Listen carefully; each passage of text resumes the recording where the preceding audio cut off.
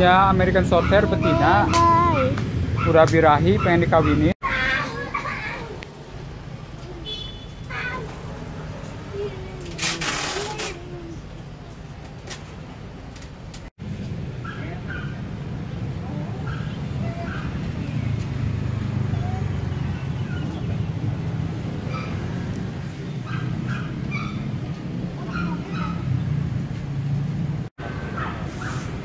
Meow.